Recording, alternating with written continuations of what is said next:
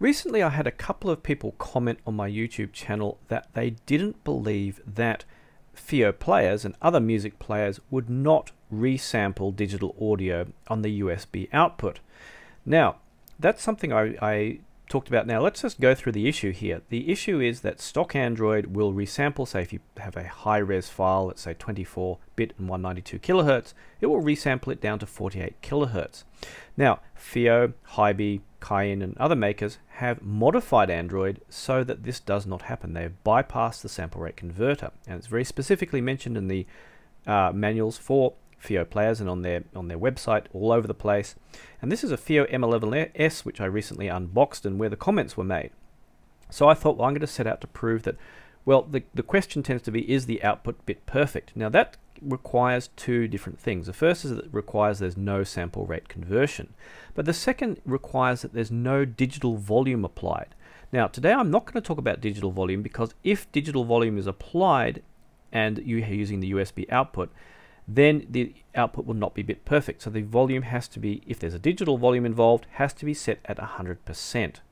But that's, for, for the sake of this video, I'm not going to talk about digital volume. We're only going to talk about sample rate conversion.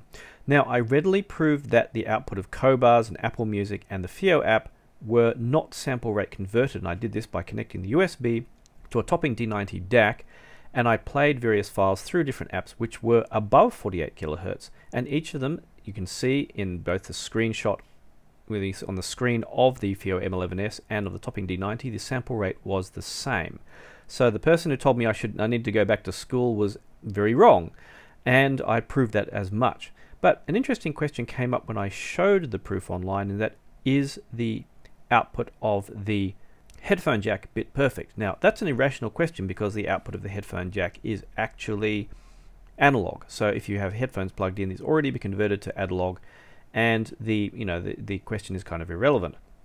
But the, the person obviously wanted to know. I understood what the question really meant, which is they wanted to know is the music before being converted back to analog isn't being sample rate converted to 1648 or whatever Android does. Now you presume that if they, the USB output is correct, that the output or you know the output into the DAC, internal DAC or digital to analog converter is also correct. So normally I wouldn't bother testing it, but I thought it would be an interesting challenge to see if I could prove that it was not being converted. So this is why my voice sounds so terrible today as I have to use my microphone preamp as the device for testing with. So let's jump over to the computer and you'll see what I did. Now, we know that the limit to the frequency of a you know 48 kilohertz is 24 kilohertz, so half the sample rate in a PCM file. So the idea was to create a couple of test tones that had a higher frequency in them than well 48 kilo, well 24 kilohertz and by doing so that would show there's no sample rate conversion going on. So I've, here I've created two 192 kilohertz files, but they only contain single test tones. And the first one is at 30 kilohertz, it's a minus 0 dB test tone, so full output. And if you want to see the spectrum, you can see that there. It is you know, straight up 30 kilohertz test tone. The second thing I created was a 60 kilohertz test tone, and if we pull down the spectrum of that, we will see indeed it's just a single 60 kilohertz test tone. It actually does go up to minus 0 dB, it's just the window doesn't show it too clearly. Now, what I'm going to do is essentially is I created those as files and loaded them onto the M11S and now I've plugged the line out which is we has at uh, maximum volume and in line out mode into the CEntrance MixerFace which into the line input and that's connected via USB to my computer and is the input for Audacity. So basically I'm just going to play the files while recording. So let's jump over to our recording window. I'm going to hit record on Audacity and then hit play and see what comes out. And the answer is a slightly low test tone, but one all the same. Now, this has to, you have to account for the fact that the mixer face may indeed be, well, adjusting things here. So when we actually look at the spectrum, if I hit pause on that on the player and hit stop, that the MixerFace will have its own digital filtering going on, so it won't come through perfectly. So you should not consider what you're about to see a reflection of the actual player itself. There's going to be some noise here because you're going through an analog output and then back into the analog input of another device. So there'll be some, and some digital filtering going on is going to make this a little bit imperfect. But there we go. There's our 30 kilohertz test tone and ignoring actually pretty reasonably low noise here, although not perfect. But there we go. It's come through. So we know that it has not been resampled. So now we're going to do the 60 kilohertz test tone. So let's just nuke all of that and start again. So now we need to go back to our player and we're just going to hit the 60 kilohertz one and hit record and see what comes out. And we can see indeed the 60 kilohertz test tone has come out. Ignore the slightly odd levels and stuff like that. That's obviously the MixerFace and there's a bit of glitchiness in there, but we don't care.